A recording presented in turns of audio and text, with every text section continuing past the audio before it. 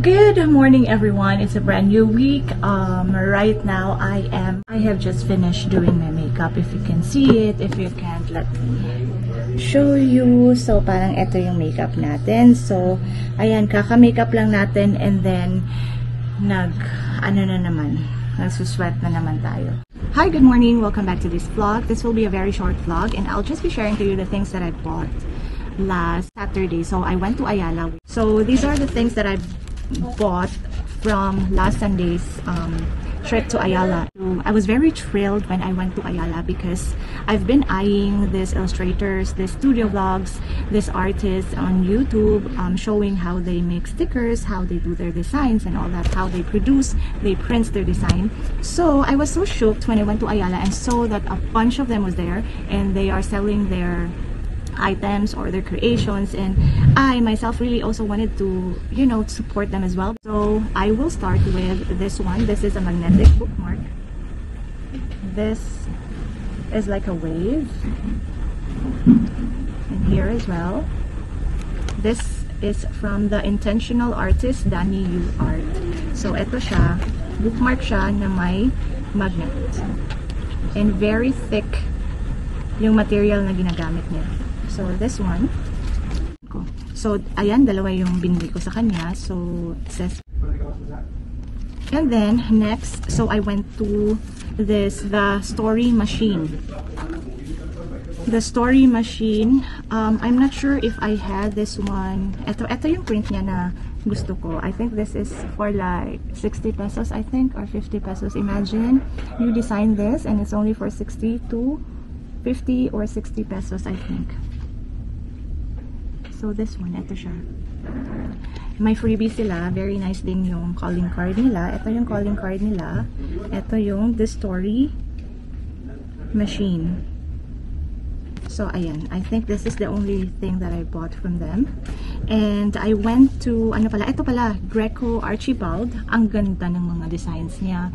He has, uh, he has this, ito, i-insert ko lang yung clip ayan super nice. I didn't I didn't ask for the price because I know it's very pricey pero ang ganda talaga if I have the money I would have bought like a lot from the shop.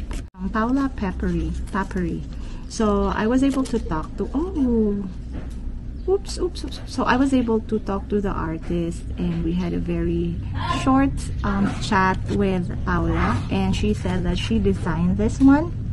Ito, she designed this napaka Ghibli yung ano, napaka Ghibli yung effect niya. So, I, I like Ghibli cartoons. So, eto. I bought two from her. So, very nice. Yan siya. So, if you are into journals or planners, napakaganda niyang gamitin. And then from Majo, I, I, I bought like small prints. I think this is for 15 pesos, I think, each print. So, calling card size lang siya. So, ito. And then here, very nice. I should have bought a bigger one. But then, I didn't know eh. I didn't bring any money at that time. I didn't bring cash. And I didn't also ask if they are accepting digi digital money. So, just a paper type. Um, the typical bookmark size. Ito yung calling card nila. The Magical. And ito yung thank you card. Next, so Artistic, I bought one from them. I think this is for 15. 15 pesos. So, sana bumili ako ng arami. Sana bumili ako ng marami. So, this is, eto, Tara Kape tayo. Etong lumpia with feelings. Lumpia. Etong balut balutin mo ako. And then this, um, you don't need scores of suitors. You only, you need only one if it's the right one. From the, the Little Women. So, ayan siya. So, ito, 15 pesos, may 4 stickers ka na. Waterproof matte print stickers ito. And then the last is from the, the Heart Project. This one is from Heartistic pala. Heartistic by I cannot read the name. Ro Roger Valencia. I, I cannot read the name. Sorry, you guys. I'll just link it below, down below. And the last one is from the Heart Project PH, waterproof sticker. So, ito yung parang mga stickers na andito. Okay, let's open it. What I like about, medyo pricey lang siya kasi 100 per pack siya. So, a little bit pricey than the, from this one. This is the one, this is the first one. You could also put this on your aqua flask or your um, laptop. I plan to put this on my laptop. And this as well. So, very girly lang siya. Parang kind of reminds me of Rose, Rose Hill. If if you know Rose Hill, I'll just put the link down. So, I've been following Rose Hill. She's also an illustrator and I love her art. I love the way she, you know, design women. So, ayan. And the last is ito for Joaquin and the boys. I know they're into this one. Waterproof stickers as well from the Heart Project.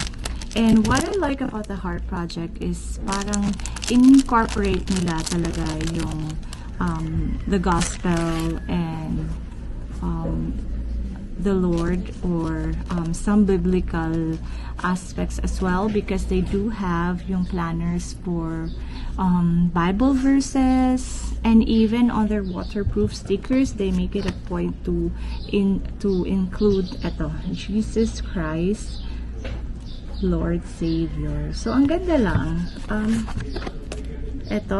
this is supposed to be royal this is like a orange fruit an orange soda here. So, Royal na naging Loyal. We have Sprite na naging Shit. We have Malapit na Dew for Mountain Dew. We have, I think this is RC, but then they said Pogi.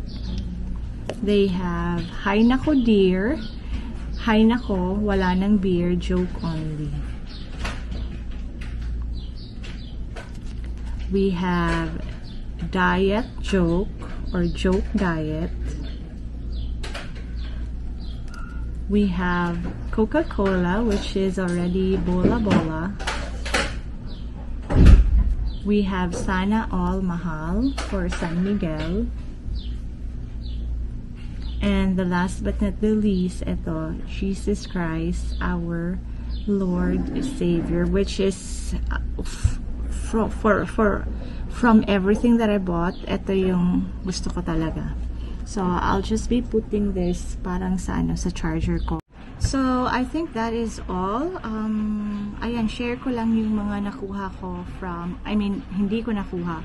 Nabili ko from Saturdays. I'm not sure what the